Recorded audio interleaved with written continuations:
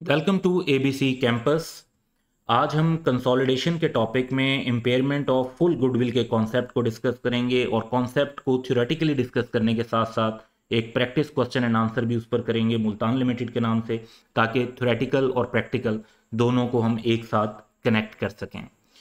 तो सबसे पहले हमें कॉन्सेप्ट चाहिए फुल गुडविल का फुल गुडविल का कि फुल गुडविल होती क्या है। तो फुल गुडविल बेसिकली तब होती है जब हम कहते हैं कि एनसीआई को मैयर करना है फेयर वैल्यू पे।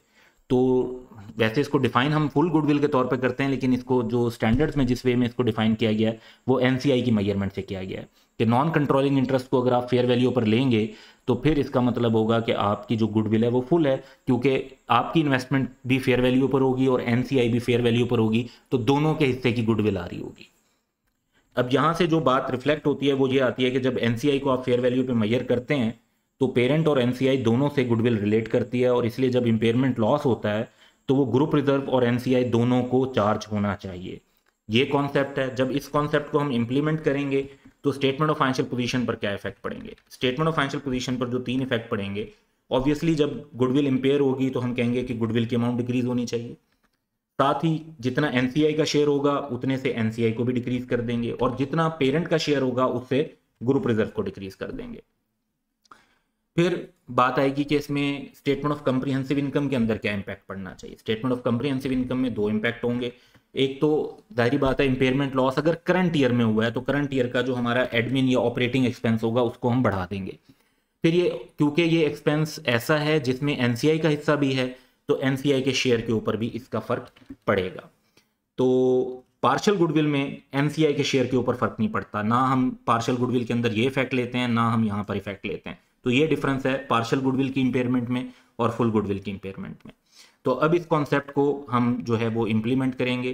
क्वेश्चन देखते हैं। क्वेश्चन के थ्रू इम्प्लीमेंटेशन इसकी करेंगे। अब क्वेश्चन में देखें, ये है कि Multan limited acquired 70 percent ordinary shares of Nawab limited on first July 2021 दोनों कंपनीज़ की हमारे पास जो है वो स्टेटमेंट ऑफ़ फाइनेंशियल पोजीशन भी गिवन है और उसके सिंपल सी फाइनेंशियल स्टेटमेंट्स हैं और इसी तरह स्टेटमेंट ऑफ़ कंप्रीहेंसिव इनकम भी गिवन है।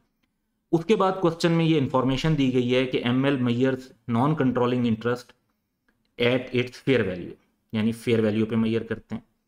फेयर वैल्यू पे मैयर करते हैं, इससे हमें यह पता चला कि यहाँ पर फुल गुडविल है। जैसे अभी हमने कॉन्सेप्ट में भी डिस्कस किया कि अगर एनसीआई फेयर वैल्यू पे मैयर होती है तो वो फुल गुडविल होती है।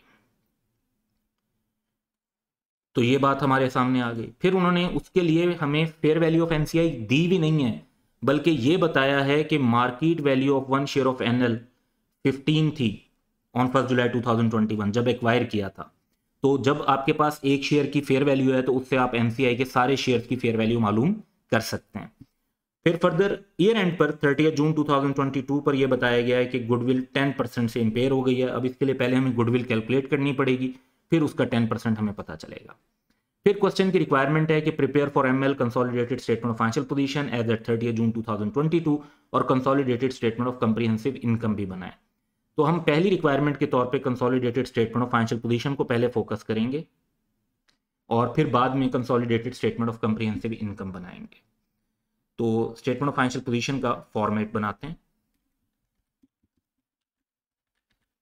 जिसमें हम बेसिकली नॉन करंट एसेट्स और फिर करंट एसेट्स इक्विटी और फिर लाइबिलिटीज़ ये नोट कर लेंगे और इनके मुताबिक हम फिगर्स को इनकॉर्पोरेट करते जाएँगे। इसके बाद हमें जो करना चाहिए वो ये कि हमें वर्किंग्स भी बना लेनी चाहिए। वर्किंग जो हमारी पहली वर्किंग होगी, वो होगी ग्रुप स्ट्रक्चर की और वर्किंग ये जो होती है, इसके अंदर हम पाँच आइटम्स को डिस्कस करते हैं कि सब्सिडरी का नाम क्या है एक्विजिशन डेट क्या है पेरेंट ऑनरशिप की कितनी है एनसीआई की ऑनरशिप कितनी है और गुडविल का मेथड क्या है। ये सारी चीज़ें हम क्वेश्चन में ऑलरेडी डिस्कस कर चुके हैं, एक बार फिर देख लेते हैं। कि हमारे पास ये डाटा मौजूद है कि सब्सिडरी का नाम जो है वो नवाब लिमिटेड है और उसकी जो एक्विजिशन डेट है वो फ़र्स्ट जुलाई 2021 है, यानी ईयर एंड से जो हमारे पास ये ईयर एंड है, इससे एक साल पहले एक्वायर किया था। पेरेंट की ओनरशिप 70 परसेंट है, इसका मतलब है कि एनसीआई की 30 परसेंट होगी। तो नीचे हमें ये बताया हुआ है कि एनसीआई को क्योंकि फेयर वैल्यू पर मैयर करते हैं तो इसका मतलब है कि फुल गुडविल मैथड होगा। तो फुल गुडविल मेथड तक हमें ये बात पता है तो हम अब इसको अपनी वर्किंग में इनकॉर्पोरेट कर लेते हैं। नवाब लिमिटेड सब्सिडरी का नाम एक्विजिशन डेट फ़र्स्ट जुलाई 2021 जो कि एक साल पहले पेरेंट की ऑनरशिप जो है वो 70 परसेंट है एनसीआई की ऑनरशिप जो है दैट इज़ 30 परसेंट और गुडविल का मेथड फुल है, क्योंकि फेयर वैल्यू पे मैयर होना है एनसीआई ने। हमारी जो सेकेंड वर्किंग बनेगी, वो as usual net asset of subsidiary की बनेगी, जिसके अंदर हम तीन कॉलम बनाएँगे और उसमें नेट एसेट ऑफ़ सब्सिडरी लेंगे हम एक्विजिशन डेट पर पोस्ट एक्विजिशन पे और फिर statement of financial position date पर। इसके बाद हमारी working as usual working three बनेगी गुडविल की। Working four non controlling interest की। और वर्किंग फाइव जो है वो ग्रुप रिटेन अर्निंग की बनाएँगे।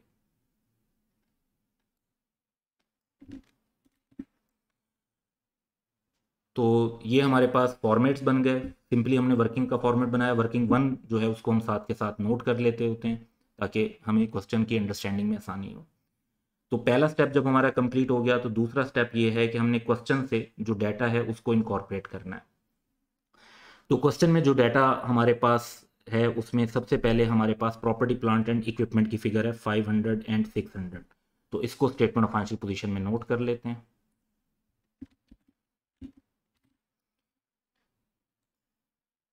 नेक्स्ट क्वेश्चन में हमें इन्वेस्टमेंट दी हुई है एनएल में यानी नवाब लिमिटेड में 530 की ये वर्किंग थ्री का हिस्सा बननी चाहिए गुडविल के अंदर गुडविल की जो कैलकुलेशन है उसके अंदर यूज़ होती है।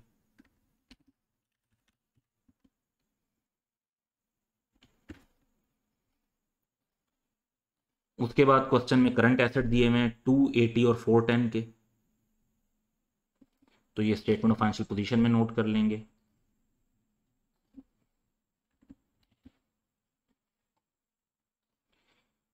इसके बाद ऑर्डनरी शेयर कैपिटल दिया हुआ है। इसमें पेरेंट का तो हम स्टेटमेंट ऑफ़ फाइनेंशियल पोजीशन के अंदर लिखेंगे। सब्सिडरी का जो शेयर कैपिटल है, ये वर्किंग टू का नेट एसेट में हिस्सा बनेगा।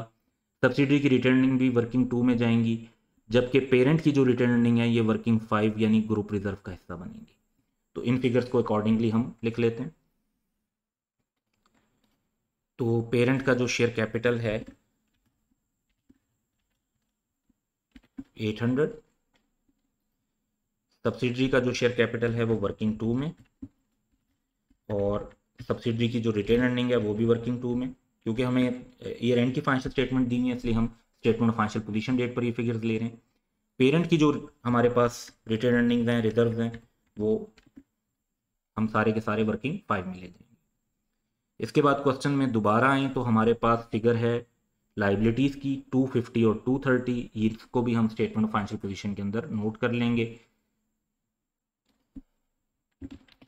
तो जो दूसरा स्टेप है हमारा कि हम क्वेश्चन की जो फिगर्स हैं उनको स्ट्रेट फॉरवर्ड इनकॉर्पोरेट करें without duplication and without omission वो हम कर लेंगे। तीसरा स्टेप फिर हमारे पास ये होता है कि हम अपनी जो है वो कैलकुलेशंस करें, जो एडजस्टमेंट्स हैं क्वेश्चन के अंदर, उनको करें। तो क्वेश्चन के अंदर जो एडजस्टमेंट हमें रिक्वायर्ड है उसमें देखते हैं कि डाटा क्या है। अब एक बात आपने ये जहन में रखनी है कि हमारी फुल गुडविल है और सब्सिडरी के एक शेयर की वैल्यू एक्विजिशन डेट पर 15 थी। इससे हमारे पास यही एनसीआई की फेयर वैल्यू कैलकुलेट हो जाएगी। दूसरी बात हमने ये जहन में रखनी है कि जो भी गुडविल कैलकुलेट होगी, वो टेन परसेंट से इम्पेयर होगी और ये क्योंकि फुल गुडविल है तो इसका इम्पैक्ट एन पर भी आएगा। तो इसके लिए अब हम अपनी वर्किंग्स की तरफ़ चलते हैं। और क्योंकि गुडविल वर्किंग थ्री में कैलकुलेट होती है तो पहले हमें वर्किंग टू को फाइनलाइज करना होगा। अब वर्किंग टू को फाइनलाइज करें तो स्टेटमेंट ऑफ़ फाइनेंशियल पोजीशन की डेट तो हमारे पास है कि सेवन एटी के एसेट है। सवाल ये पैदा होता है कि हमारे पास पोस्ट एक्विजिशन और एक्विजिशन डेट पर क्या पोजीशन थी? शेयर कैपिटल में तो कोई चेंज नहीं आता तो उसको तो हम एक्विजिशन डेट पर भी सेम ले लेते हैं। रिटेन अर्निंग का डाटा क्वेश्चन में ये नहीं गिवन कि वो कितनी थी, लेकिन हमें ये बात पता है कि सब्सिडरी को एक्वायर किए हुए वन ईयर का टाइम हुआ है। जैसे हमने यहाँ पर नोट भी किया है। और इसका मतलब है कि जो वन ईयर का प्रॉफिट है वो हमारा वन टेन बनता है। और ये उस वन ईयर में हुआ है जो एक्विजिशन के बाद का वन ईयर है। तो ये पोस्ट एक्विजिशन है और इससे पहले के जितने प्रॉफिट्स हैं, वो एक्विजिशन डेट पर एग्जिस्ट करते थे। तो पोस्ट एक्विजिशन की फिगर क्वेश्चन में इनडायरेक्टली एक किस्म की गिवन है वन टेन और अगर 280 में से 110 निकाल दें तो जो बाकी बचता है वो 170 इस तरह से एक्विजिशन डेट पर टोटल हमारे पास आ जाता है 670 तो ये हमारी वर्किंग टू कंप्लीट हो जाएगी। अब गुडविल की बारी आएगी तो हमने एनसीआई को लेना है एक्विजिशन डेट पर, और क्योंकि इस क्वेश्चन में फुल गुडविल है तो हमने एनसीआई को फेयर वैल्यू पर लेना है। अच्छा अब सब्सिडरी के जो टोटल शेयर हैं, वो देखते हैं कितने हैं। देखें, यहाँ पर यह बताया हुआ है कि जो सब्सिडरी है, उसका टोटल शेयर कैपिटल 500 मिलियन है। अच्छा 500 मिलियन तो अमाउंट हो गई। और दस रुपए का एक शेयर है तो 500 million divide by 10 divide by 10 करेंगे तो 50 मिलियन शेयर आ जाएँगे। तो एनसीआई जो होगी, वो होगी 50 million share into thirty percent क्योंकि 30 परसेंट एनसीआई है और एक शेयर की वैल्यू फिफ्टीन रुपीज़ क्वेश्चन में गिवन है तो हमारे पास 225 आ जाती है एनसीआई की फेयर वैल्यू इससे हमारे पास जो टोटल बन जाता है हमारी इन्वेस्टमेंट और एनसीआई का, वो बन जाता है 755 इसमें से हमने सब्सिडरी के जो नेट एसेट हैं एट एक्विजिशन डेट जो कि यहाँ पर भी ये गिवन है 670 तो इनको वर्किंग टू से लेकर लेस करना होता है। तो हमारे पास गुडविल आ जाएगी जो एक्विजिशन डेट पर है। दैट वुड बी 85 अब क्योंकि क्वेश्चन में बताया हुआ है कि इम्पेयरमेंट हुई है टेन परसेंट से तो हम टेन परसेंट इम्पेयरमेंट जब 85 की टेन परसेंट इम्पेयरमेंट कैलकुलेट करेंगे तो वो बनती है 85 8.5 और 8.5 को लेस करके हमारे पास जो goodwill statement of financial position में शो होनी चाहिए दैट वुड बी 76.5 तो ये हमारे पास गुडविल आ गई। अब हम कैलकुलेट करेंगे एनसीआई अब एनसीआई जो एक्विजिशन डेट पर है, वो तो बिल्कुल जैसे हमने गुडविल में लिया होता है, वैसे का वैसा ही यहाँ पर लेंगे। फिर एनसीआई का पोस्ट एक्विजिशन में भी हिस्सा है। पोस्ट एक्विजिशन 110 है। इस 110 में एनसीआई का हिस्सा कितना है? 30 परसेंट तो 110 का 30 परसेंट आप जब लेंगे तो वो बन जाता है 33 इसके अलावा क्योंकि फुल गुडविल है तो ये जो इम्पेयरमेंट हुई है 8.5 की, इसमें भी एनसीआई को लॉस का भी शेयर लेना पड़ेगा। तो 8.5 का 30 परसेंट। ये बन गया 2.55 इसको लेस करेंगे क्योंकि ये लॉस है। अब आप एनसीआई की टोटल कैलकुलेशन कर लेंगे तो आपके पास जवाब आ जाएगा 255.45 सिमिलरली क्योंकि इम्पेयरमेंट का 30 परसेंट लॉस जो है वो बेयर करना पड़ा है एनसीआई को तो बाकी 70 परसेंट लॉस किसको बेयर करना होगा? बाकी 70 परसेंट लॉस बेयर करना होगा पेरेंट को। तो वो बनता है 5.95 और फिर जिस तरह से यहाँ पे हमने पोस्ट एक्विजिशन का 30 परसेंट लिया था 110 का, इस 110 का बाकी 70 परसेंट किसका? है वो पेरेंट का। तो अगर आप ग्रुप रिज़र्व का टोटल करेंगे तो वो आपके पास आ जाएगा 331.05 तो यहाँ तक कैलकुलेशन करने के बाद, अब हम जो है, अगर आगे देखते हैं तो हमारे पास वर्किंग्स कंप्लीट हो गई हैं और तीन वर्किंग्स होती हैं जिन्हें हमने शो करना होता है। एक गुडविल तो इसको स्टेटमेंट फाइनेंशियल पोजीशन में शो कर देते हैं।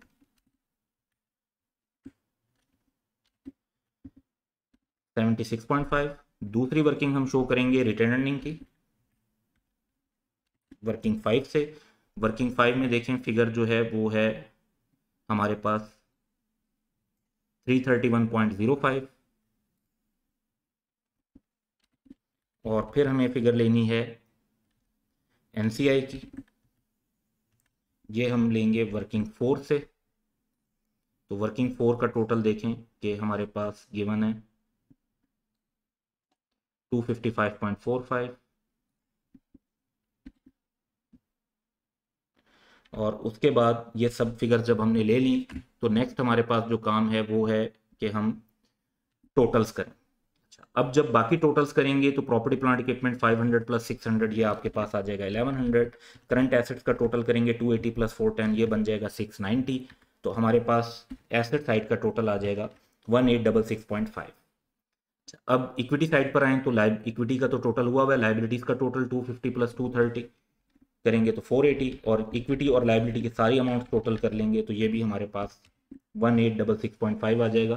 तो हमारी statement of financial position complete भी हो गई और टैली भी हो गई। चार स्टेप क्या है? फॉर्मेट बनाया, दूसरे स्टेप के अंदर हमने जो है क्वेश्चन की फिगर्स डाली, तीसरे स्टेप के अंदर हमने एडजस्टमेंट्स और कैलकुलेशन की, और चौथे स्टेप में सिंपली टोटल्स किए। अब इस क्वेश्चन में और भी रिक्वायरमेंट है। अगर वैसे हम देखें तो स्टेटमेंट ऑफ़ फाइनेंशियल पोजीशन के अंदर हमारे तीन काम थे। कि हमने एक तो गुडविल के अमाउंट को डिक्रीज करना था। तो क्या हमने किया है? ये देखें, गुडविल की अमाउंट हमने डिक्रीज की है। ये पहला स्टेप था। दूसरा स्टेप ये था कि एनसीआई में शेयर डालना है और तीसरा स्टेप ये था कि पेरेंट को भी उसके हिसाब से शेयर देना है। तो ये दो स्टेप भी अगर आप कॉन्सेप्ट में देखें तो ये भी हमने कवर किए हैं। तो ये तीन जो हमारे स्टेप थे, वो स्टेटमेंट ऑफ़ फाइनेंशियल पोजीशन के हमने कवर किए तो हमारा क्वेश्चन प्रॉपरली कंप्लीट हो गया एक्यूरेसी के साथ। अब स्टेटमेंट ऑफ़ कंप्रीहेंसिव इनकम की भी रिक्वायरमेंट है क्वेश्चन के अंदर। तो क्वेश्चन के अंदर ये जो स्टेटमेंट ऑफ़ कंप्रीहेंसिव इनकम की रिक्वायरमेंट है, अब जरा इसकी तरफ़ चलते हैं।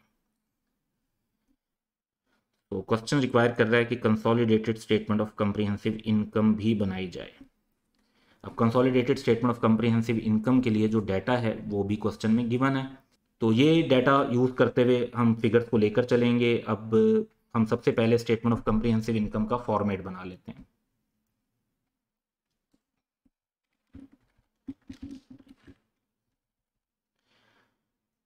तो revenue cost of sales gross profit distribution cost जिस तरह से क्वेश्चन में बना हुआ admin expense finance cost profit before tax tax और उसके बाद प्रॉफिट आफ्टर टैक्स तो ये फिगर्स हैं। अच्छा अब क्वेश्चन में से आपने जो फिगर्स लेनी हैं, वो इंपॉर्टेंट है कि आपने जैसे ये रेवेन्यू की फिगर्स ले लेंगे कॉस्ट ऑफ़ सेल्स की फिगर ले लेंगे, जो सब टोटल्स हैं, उनकी फिगर नहीं लेनी। Distribution cost, admin expense, finance cost, tax, ये सारी फिगर्स लेंगे। लेकिन हमने gross profit profit before tax और प्रॉफिट आफ्टर टैक्स की फिगर नहीं ली, यानी टोटल्स और जो हमारे पास, सब टोटल्स होते हैं, उनको हमने नहीं लेना, क्योंकि जैसे जैसे क्वेश्चन में एडजस्टमेंट्स आती जाएँगी तो ये फिगर फिर चेंज हो सकती हैं। तो उनको हमने नहीं लेना। तो जो फिगर्स हम ले रहे हैं, उनको हम लेते जाते हैं। रेवेन्यू की फिगर हमने ली कॉस्ट ऑफ़ सेल्स की ली distribution cost eighty plus forty admin expense 120 plus 65 finance cost 10 plus zero और टैक्स जो है वो 98 प्लस 45 अब बारी है एडजस्टमेंट्स करने की। तो एडजस्टमेंट जैसे क्वेश्चन में है, वो ये है हमारे पास यहाँ पर एडजस्टमेंट कि हमने 10 परसेंट से इम्पेयरमेंट करनी थी। तो 10 परसेंट से जो इम्पेयरमेंट होनी है, वो हम वर्किंग में ऑलरेडी कैलकुलेट कर चुके हैं कि वो फिगर बनती है 8.5 अब कॉन्सेप्ट क्या है? ये देखें कि आपने एक तो ऑपरेटिंग एक्सपेंस में उसको शामिल करना है। तो ऑपरेटिंग एक्सपेंस में शामिल कर देंगे। तो यहाँ पर हमारा आ जाएगा प्लस 8.5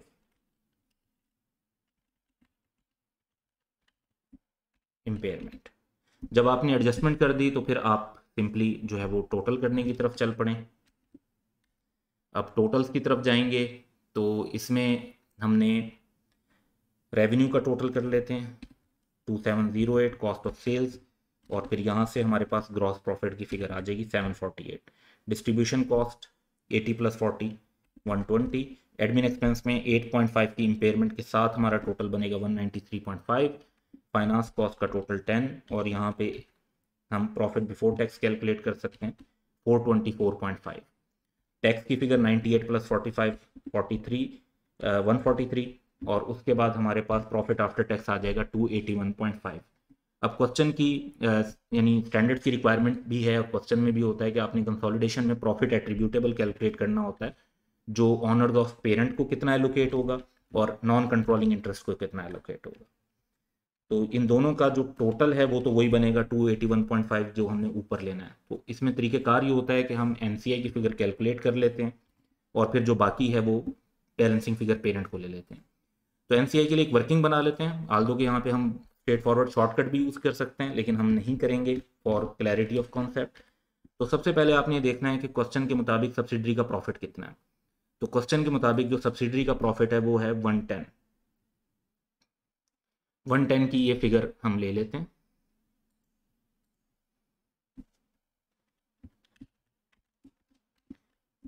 फिर क्या एनसीआई शेयर में कोई एडजस्टमेंट होनी है? तो देखें कॉन्सेप्ट के मुताबिक इम्पैक्ट जो होगा इम्पेयरमेंट का, वो क्योंकि फुल गुडविल है तो एनसीआई के शेयर पर इम्पैक्ट भी आपने लेना होगा।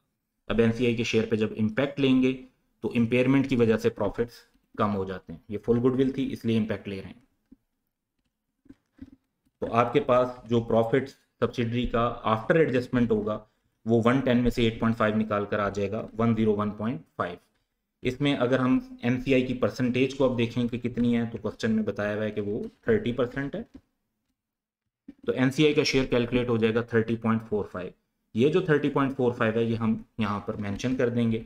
और फिर एज अ बैलेंसिंग फिगर हमें पता चल जाएगा कि पेरेंट को कितनी फिगर चार्ज होनी है। तो 281.5 में से 30.45 निकालें तो आपके पास 251.05 आ जाएगा। तो इस तरह से आपके पास स्टेटमेंट ऑफ़ कंप्रीहेंसिव इनकम भी कंप्लीट हो जाएगी। सारी फिगर्स भी कैलकुलेट हो जाएँगी, उनकी प्रॉफिट की एलोकेशन भी हो जाएगी एन का शेयर भी कैलकुलेट हो जाएगा। तो ये कॉन्सेप्ट हमारे थे फुल गुडविल की इम्पेयरमेंट से रिलेटेड जो यहाँ पे हमने थ्योरेटिकली भी कॉन्सेप्ट डिस्कस किए और उनको एक क्वेश्चन के साथ भी हमने सॉल्व करके देखा. And that's all for today have a good day